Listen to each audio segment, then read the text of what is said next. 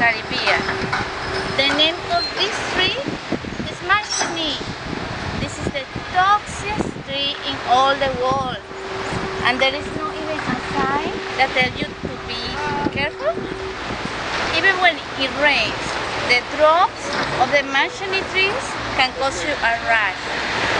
They cause you a rash and don't even think about eating, this is not a fruit. Don't eat fruits and just pick it up, anything that looks like a fruit. Because this can be deadly, right? It is deadly.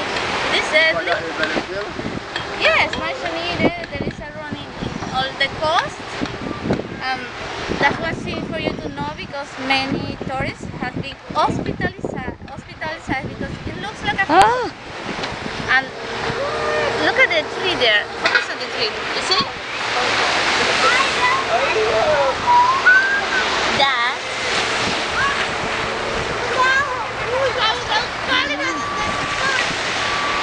So when it's raining, don't shelter under the tree. And if you shelter and you have rash all over, it's just because the mansion no, no, no se come. Get a shirt. Love you all. Peace on. And I see you in the next video. Woo!